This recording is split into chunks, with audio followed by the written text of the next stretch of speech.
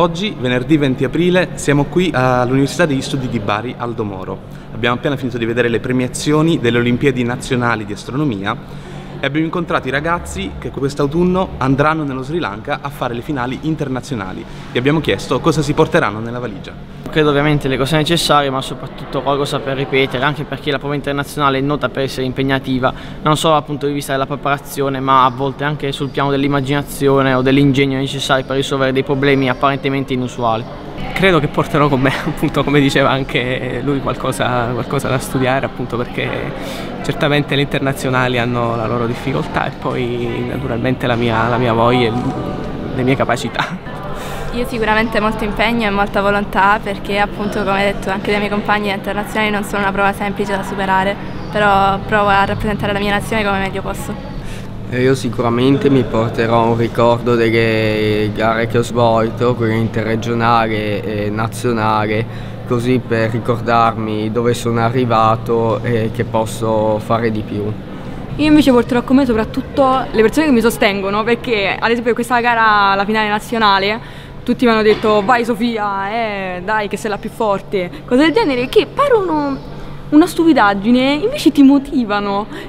Quindi credo che porterò con me proprio tutte le persone, i miei compagni di classe, soprattutto i miei genitori, la mia famiglia, perché il loro tifo mi aiuta mm, ad avere le illuminazioni. Non ti dai,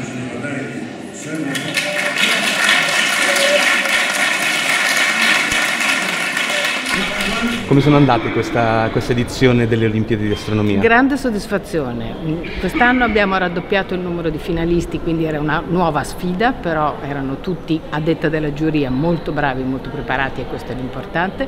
Ho avuto dei commenti positivi sia dai docenti che dagli, dagli studenti che sembra che si siano divertiti anche eh, pur, pur, non avendo vinto perché ovviamente i vincitori sono pochi e l'importante è partecipare ed essere soddisfatti di quello che uno fa. Se loro sono contenti siamo contenti anche noi. Abbiamo finito un percorso meraviglioso che ha avuto una grande utilità. Abbiamo detto ai ragazzi che devono andare oltre i propri limiti, come devono andare oltre gli insegnanti, come devono andare oltre tutti quelli che partecipano. Le Olimpiadi sono una sfida con se stessi, imparare delle cose e in più è un'apertura sul mondo per diventare delle persone con la testa aperta, viaggiare, andare in giro. Questi ragazzi andranno alle Olimpiadi, i, i, i cinque in Sri Lanka, è un viaggio nel futuro, è un viaggio anche nel loro futuro e nel nostro futuro. Noi siamo le persone che devono lavorare per offrire agli altri e anche a noi stessi delle occasioni per essere meglio di quello che siamo e le Olimpiadi servono a questo, anche a questo.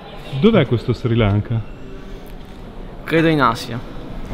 È in Sud Asia, vicino eh, al sud della Cina se non sbaglio.